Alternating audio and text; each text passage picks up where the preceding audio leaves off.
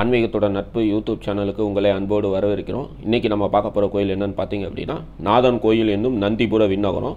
இந்த ஸ்தலத்தில் வந்து பார்த்தீங்க அப்படின்னா சிவபெருமானோட வாகனமாக இருக்கக்கூடிய நந்தி பகவான் வந்து இந்த தலத்தில் அருள்பாலிக்கிற ஜெகநாத பெருமாளை நோக்கி தவம் இருந்து தனக்கு ஏற்பட்ட சாபத்தை வந்து நீக்கிக்கிட்டு தான் ஐதீகம். அது என்ன வரலாறு அப்படிங்கிறது எல்லாமே வந்து இந்த வீடியோவில் வந்து நம்ம முழுசாக பார்க்கலாம். மேலும் வந்து இந்த தலத்தில் அருள்பாலிக்கிற பெருமாளை நோக்கி தவம் இருந்து இந்த தலத்தோட தாயார் வந்து பெருமாளோட மார்பில் வந்து நிரந்தரமாக வாசம் செய்யக்கூடிய வரத்தை வந்து பெற்றிருக்காங்க. அது என்ன எல்லாம் அப்படிங்கிறதெல்லாம் வந்துட்டு நம்ம இந்த இந்த வீடியோவில் வந்து நம்ம டீப்பாக பார்க்கலாம். நீங்கள் ஃபஸ்ட் டைம் எங்கள் சேனலுக்கு வரீங்க அப்படின்னா மறக்காமல் எங்கள் சேனலை வந்து சப்ஸ்கிரைப் பண்ணிக்கிங்க. அப்போ தான் வந்து நாங்கள் போடுற வீடியோ வந்து உங்களுக்கு நோட்டிஃபிகேஷனாக கிடைக்கும். வாங்க இப்போ நம்ம நாதன் கோயிலுக்குள்ளே போய் தரிசனம் பண்ணலாம். இந்த தலத்தோட வரலாறு என்ன அப்படிங்கிறத பார்க்கலாம். வைகுந்தத்துக்கு நிகரான தலங்கள் வந்து பூலோகத்தில் காணப்படுது அப்படின்னா அதை வந்து விண்ணகரம் அப்படின்னு சொல்லி திவ்ய தேசங்களில் வந்து வழங்கப்படும். இந்த தலமும் வந்து பார்த்திங்க அப்படின்னா நந்திபுரம் விண்ணகரம் அப்படின்னு சொல்லி வழங்கப்படுது. இந்த ஸ்தலமும் வந்து பார்த்திங்க அப்படின்னா வைகுண்டத்துக்கு நிகரான ஸ்தலமாக வந்து வழங்கப்படுது. மன்னார்குடியில் தொடங்கி இந்த நாதன் கோயில் வரை இருக்கக்கூடிய பகுதி வந்து செண்பகராண்யம் அப்படின்னு சொல்லி வழங்கப்படுது. அதாவது வந்து செண்பக மலர்கள் வந்து பூத்து குலுக்கக்கூடிய சோலையாக வந்து இந்த பகுதி வந்து திகழ்ந்திருக்கு. நூற்றி எட்டு திவ்ய தேசங்களில் வந்துட்டு இந்த நாதன் கோயில் என்னும் நந்திபுர விண்ணோகரம் வந்துட்டு இருபத்தி ஒன்றாவது திவ்ய தேசமாக வந்து திகழுது. இப்போ வாங்க நம்ம இந்த ஸ்தலத்துக்கு போய் இங்கே அருள்பாலிக்கிற பெருமாளை வந்து தரிசனம் பண்ணிவிட்டு இந்த ஸ்தலத்தோட வரலாறு என்ன அப்படிங்கிறதெல்லாம் நம்ம விரிவாக பார்க்கலாம். ஜெகநாத பெருமாள் திருக்கோயில் அப்படிங்கிற பாதகை வந்து நம்மளை வந்து வரவேற்கிறது. அதை வந்து தரிசனம் பண்ணிவிட்டு தொடர்ந்து நம்ம முன்னேறணும் அப்படின்னா ஒரு சின்ன காம்பவுண்ட் மாதிரி இருக்கும். அதுக்குள்ளே நடந்தோம் அப்படின்னா இந்த ஆலயத்தோட ராஜகோபுரம் வந்து நமக்கு காணப்படுது. ராஜகோபுரத்தை நம்ம நல்லா தரிசனம் பண்ணிக்கிறோம். கோபுர தரிசனம் கோடி புண்ணியம். கோபுரத்தை தரிசனம் பண்ணிட்டு தொடர்ந்து நம்ம முன்னேறணும் அப்படின்னா இந்த தளத்தில் வந்துட்டு பலிபீடமும் கொடிமரமும் நந்தி மண்டபமும் காணப்படுது. அதை தரிசனம் பண்ணிட்டு தொடர்ந்து நம்ம உள்ளார போனோம் அப்படின்னா இந்த ஸ்தலத்தில் அருள் பாலிக்கிற மூலவரை வந்து நம்ம தரிசனம் பண்ணலாம். இதுதான் வந்து இந்த ஸ்தலத்தில் அருள் பாலிக்கிற மூலவர். இவர் வந்து நாதநாதன் என்றும் ஜெகநாதன் என்றும் விண்ணகர பெருமாள் யோக சீனிவாசன் என்றும் வழங்கப்படுறாரு. இவருக்கு அருகிலே பார்த்தீங்க அப்படின்னா பூமாதேவி தாயாரும் ஸ்ரீதேவி தாயாரும் வந்து அமர்ந்த கோலத்தில் வந்து காணப்படுறாங்க. இந்த தளத்தில் அருள்பாலிக்கிற பெருமாள் வந்துட்டு அமர்ந்த கோலத்தில் வந்து காணப்படுறாரு. கையில் வந்து சங்கு சக்கரம் ஏந்தி காணப்படுறாங்க. ஸ்ரீதேவி பூமாதேவி தாயாரும் பார்த்திங்க அப்படின்னா கையில் வந்து பத்ம முத்திரையோடு காணப்படுறாங்க. அடுத்தது வந்து இந்த ஸ்தலத்தில் அருள் பாலிக்கிற உற்சவரை பார்க்கலாம். இவர் தான் வந்து இந்த ஸ்தலத்தில் அருள் பாலிக்கிற உற்சவர். இவர் வந்து ஜெகநாத பெருமாள் அப்படின்னு வழங்கப்படுறாரு. அவருக்கு அருகிலையும் ஸ்ரீதேவியும் பூதேவியும் உற்சவர் திருமீனியாக காணப்படுறாங்க. அதுக்கு அடுத்ததாக பார்த்திங்கன்னா இவங்க தான் வந்து இந்த ஸ்தலத்தில் அருள் பாலிக்கிற செண்பகவல்லி தாயார் அப்படின்னு சொல்லி வணங்கப்படுறாங்க. இந்த ஸ்தலத்தை வந்து திருமங்கை ஆழ்வார் வந்து மங்களாசாசனம் வந்து பண்ணியிருக்காரு. இந்த தலத்தோட தீர்த்தம் அப்படின்னு சொல்லி பார்த்தீங்க அப்படின்னா நந்தி புஷ்கரணி தீர்த்தம் அப்படின்னு சொல்லி வழங்கப்படுது. மேலும் இந்த தலத்தோட தலைவிருச்சம் அப்படின்னு சொல்லி பார்க்கையில் வந்து செண்பக மரம் வந்து இந்த ஸ்தலத்தோட தலவிருச்சமாக வந்து வழங்கப்படுது. இந்த தளத்து பெருமாளை வந்துட்டு சிபி சக்கரவர்த்தியும் நந்தி பெருமானும் வந்துட்டு வழிபாடு செஞ்சுருக்காங்க. இவங்களோட வழிபாட்டுக்கு வந்து இந்த ஸ்தல பெருமாள் வந்து காட்சி அளிச்சிருக்காரு. பெருமாளை வந்து நம்ம நல்லா தரிசனம் பண்ணியாச்சு. தொடர்ந்து இந்த ஆலயத்தோட பிரகாரத்தை வந்து இப்போ நம்ம வளம் வரலாம். ஜெகநாத பெருமாளை தரிசனம் பண்ணிவிட்டு தொடர்ந்து இந்த ஆலயத்தை வந்து நம்ம வளம் வரப்போ வந்துட்டு ஜெகநாத பெருமாள் இருக்கக்கூடிய மூலவர் விமானத்தை வந்து நம்ம தரிசனம் பண்ணுறோம் மூலவரோட விமானத்தை வந்து நம்ம தரிசனம் பண்ணுறது கோடி புண்ணியத்துக்கு சமம். மூலவரோட விமானத்தை தரிசனம் பண்ணிவிட்டு தொடர்ந்து நம்ம ஆலயத்தோட பிரகாரத்தை வளம் வரும்போது அடுத்ததாக வந்து நமக்கு காணப்படுறது வந்துட்டு இந்த ஸ்தலத்தில் அருள் பாலிக்கக்கூடிய தாயாரோட சன்னதி. இந்த அந்த சன்னதிக்குள்ளே போயிட்டு இங்கே இருக்கிற தாயாரை வந்து வழிபாடு பண்ணலாம். இதுதான் வந்து இந்த ஸ்தலத்தில் அருள் பாலிக்கக்கூடிய செண்பகவல்லி தாயார். இந்த தாயாரை வந்து இப்போ நம்ம நல்லா தரிசனம் பண்ணியாச்சு. தொடர்ந்து இந்த ஆலயத்தோட வரலாறு என்ன அப்படிங்கிறதெல்லாம் இப்போ வந்து நம்ம விரிவாக பார்க்கலாம். வைகுண்டத்தில் வந்து பெரும்பாலும் வந்து சைன கோலத்தில் வந்து காட்சியளிக்கக்கூடிய நேரத்தில் வந்துட்டு அதாவது மகாலட்சுமி தாயார் வந்துட்டு பெருமாளோட பாதத்துக்கு அருகில் இருந்துட்டு பெருமாளுக்கு வந்து சேவை சாதிச்சுட்டு வருவாங்க. அவ்வாறு இருக்கக்கூடிய சூழ்நிலையில் வந்துட்டு மகாலட்சுமி தாயாருக்கு வந்துட்டு ஒரு எண்ணம் வந்து தோணுது. என்னங்கிறதோட ஒரு ஆசையை தோன்றுது. நம்ம எப்பயுமே வந்து பெருமாளோட பாதத்துக்கு கீழே தானே உட்காந்து நம்ம வந்து பெருமாளுக்கு வந்து சேவை சாதிக்கிறோம். நம்ம வந்து பெருமாளோட மார்பில் வந்து இடம்பெறணும் அப்படின்னு சொல்லி முடிவு பண்ணுறாங்க அதுக்காக வந்துட்டு மகாலட்சுமி தாயார் வந்து வைகுண்டத்திலிருந்து கிளம்பி இந்த ஸ்தலத்தில் வந்து அமர்ந்து பெருமாளை நோக்கி கடுந்தவம் பண்ணுறாங்க இவங்க இவங்களோட தவத்துக்கு மெச்சிய பெருமாள் வந்து மகாலட்சுமி தாயாருக்கு வந்து காட்சியளித்து மகாலட்சுமி தாயாரை வந்து பெருமாள் வந்து தன்னோட மார்பில் வந்து சூடிக்கிட்ட தலம் தான் வந்துட்டு இந்த ஸ்தலம் வந்துட்டு.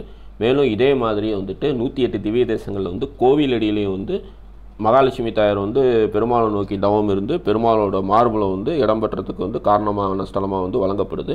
நம்ம சேனலில் வந்து ஏற்கனவே வந்து கோவிலடியை பற்றி நம்ம வந்து வீடியோ போட்டுட்டோம்.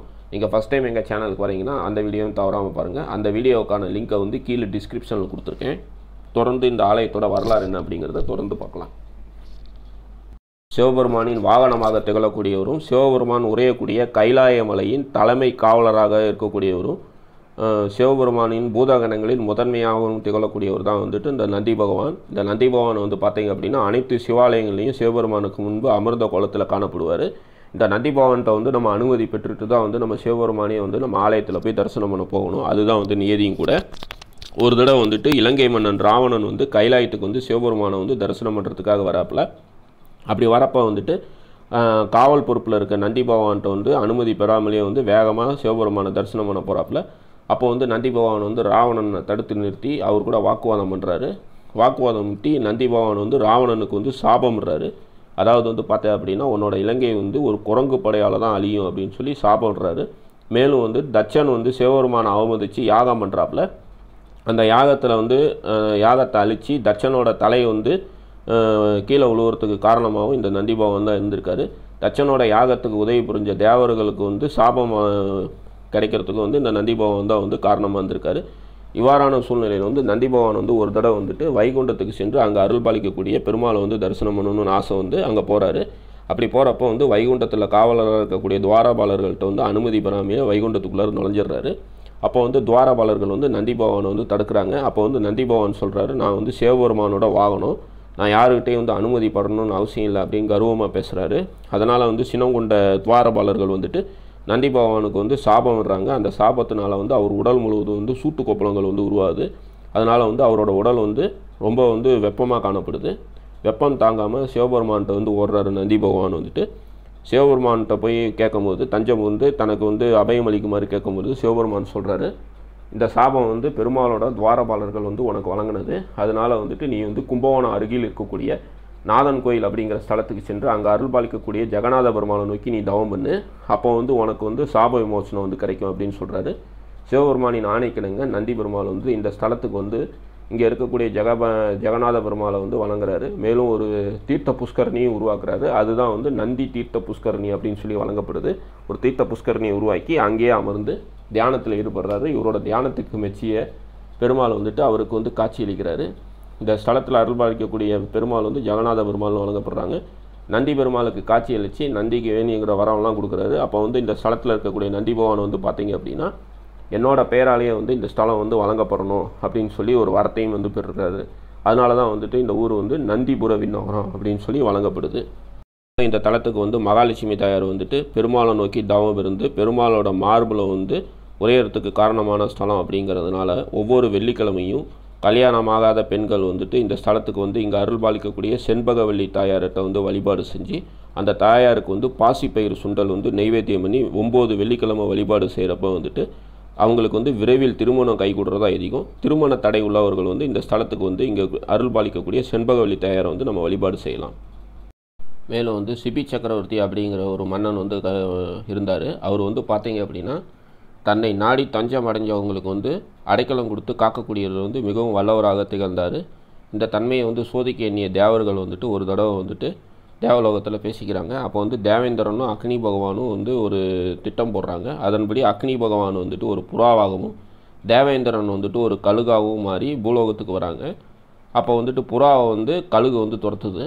அப்போ வந்துட்டு புறா வந்துட்டு இந்த ஸ்தலத்தில் வந்து இருக்கக்கூடிய சிபி சக்கரவர்த்திட்டு வந்து தஞ்சம் புகுது. என்னை வந்து காப்பாற்று என்னை வந்து கழுகு வந்து துரத்திட்டு வருது அப்படின்னு சொல்லி இங்கே இருக்கக்கூடிய சிபி சக்கரவர்த்திட்ட வந்து தஞ்சம் போகுது. அப்போ வந்துட்டு கழுகு வந்து அங்கே வந்து அந்த சிபி சக்கரவர்த்தி கேட்குது என்னோடய உணவை என்கிட்ட கொடுத்துரு. அதை வந்து நீ காப்பாற்றாத எனக்கு வந்து ரொம்ப பசிக்குது. அப்படின்னு சொல்கிறாப்புல அப்போ வந்து சிபி சக்கரவர்த்தி என்ன சொல்கிறாருன்னா உனக்கு என்ன உணவு தானே வேணும்? அந்த புறா விட்டுரு. அந்த புறாவோட எடைக்கு சமமாக என்னோடய தொடையில் இருக்கக்கூடிய சதையை வந்து உனக்கு உணவாக வழங்குறேன். அதை வந்து சாப்பிடு. அந்த புறாவை வந்து விட்டுரு அப்படின்னு சொல்லிட்டு அந்த புறாவை வந்து ஒரு திராசில் வச்சு தன்னோட தொடையிலிருந்து சதையை அறுத்து எடை போட்டு அந்த கழுகுக்கு வந்து வழங்குறாரு. இந்த சம்பவத்தை வந்து இங்கே அருள் பாலிக்கக்கூடிய ஜெகநாத பெருமாள் வந்து திரும்பி பார்க்குறாரு அதுக்கு முன்னாடி வரைக்கும் இந்த ஸ்தலத்தில் வந்து ஜெகநாத பெருமான் வந்து கிழக்கு பார்த்து தான் காணப்பட்டார். அதுக்கப்புறம் தான் வந்துட்டு மேற்கு நோக்கி காண வந்து தரிசனம் தராரு அதே மாதிரி தாயாரோட தவத்திற்கு மெச்சியும் வந்து பெருமாள் வந்து கிழக்கிருந்து மேற்கு நோக்கி காட்சி அளித்ததா ஐதீகம். இந்த சிபி சக்கரவர்த்தியை வந்து புறாவுக்காக வந்து தன்னோட சதையை வந்து வழங்கிய ஸ்தலமாக வந்து இந்த நாதன் கோயில் வந்து வழங்கப்படுது. இவரோட இந்த செயலுக்காக வந்து பெருமாள் மிகவும் மகிழ்ந்து அவருக்கு வந்து வேண்டிய வரங்களெல்லாம் வந்து வழங்கினார். மேலும் இதே மாதிரி சிபி சக்கரவர்த்தி வந்து நூற்றி எட்டு திவ்ய தேசங்களில் வந்து திருவள்ளரையிலையும் வந்து சென்று அங்கே இருக்கக்கூடிய பெருமாளை வந்து தரிசனம் பண்ணி அங்கே இருக்கக்கூடிய கோயிலை வந்து கட்டினதா ஐதீகம். நம்ம சேனலில் ஏற்கனவே வந்து திருவள்ளரை கோயிலை பற்றி நம்ம வந்து பார்த்துருக்கோம். அந்த வீடியோவுக்கான லிங்கையும் வந்து கீழே டிஸ்கிரிப்ஷனில் கொடுக்குறேன். நீங்கள் ஃபஸ்ட் டைம் வரீங்கன்னா அதையும் போய் மறக்காமல் பாருங்கள் சந்திர பகவானால் ஏதாவது தோஷம் ஏற்பட்டு அதனால் வந்து பாதிக்கப்படக்கூடிய அன்பர்கள் வந்துட்டு இந்த ஸ்தலத்துக்கு வந்து இங்கே அருள் பாலிக்கக்கூடிய ஜெகநாத பெருமாளை வழிபாடு செய்கிறப்ப வந்துட்டு சந்திர பகவானால் ஏற்படக்கூடிய தோஷங்கள்லாம் வந்து நிவர்த்தி ஆகிறதா இருக்கும் இந்த ஸ்தலம் வந்து சந்திர பகவானுக்குரிய தோஷ நிவர்த்தி ஸ்தலமாக வந்து திகழுது. மேலும் இந்த ஸ்தலத்தில் வந்து திருவிழா அப்படின்னு சொல்லி பார்க்குறப்ப வைகுண்ட ஏகாதசி வந்து இந்த ஸ்தலத்தில் வந்து தலையாய திருவிழாவை வந்து கொண்டாடப்படுது. இவ்வளோ சிறப்பு வாய்ந்த அந்த ஸ்தலம் வந்து எங்கே இருக்குது அப்படின்னு சொல்லி பார்த்தீங்க அப்படின்னா கும்பகோணத்துக்கு அருகில் இருக்கக்கூடிய பட்டீஸ்வரம் துர்க்கையம்மன் சன்னதியிலிருந்து சுமார் மூணு கிலோமீட்டர் தொலைவில் இருக்குது இந்த ஸ்தலத்துக்கு வரத்துக்கு வந்து பேருந்து வசதியெல்லாம் வந்து அதிகம் கிடையாது.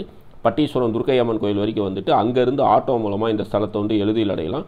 பட்டீஸ்வரம் துர்க்கையம்மன் ஸ்தலத்துலேருந்து இந்த சன்னதிக்கு வந்து ஆட்டோவில் வந்துட்டு செல்கிறதுக்கு வந்து சுமார் ஒரு நூறுரூவா தான் வந்து கட்டணமாக சார்ஜ் பண்ணுறாங்க பட்டீஸ்வரம் துர்க்கையம்மன் கோயிலுக்கு வரவங்க தவறாமல் இந்த ஸ்தலத்துக்கு வந்து வழிபாடு செய்து இங்கே இருக்க பெருமாளோட அருளை பெறுமாறு கேட்டுக்கொள்கிறேன்.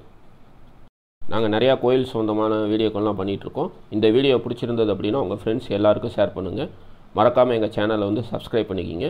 மறுபடியும் இதே மாதிரி இன்னொரு கோயிலில் வந்து நம்ம சந்திப்போம். நன்றி வணக்கம்.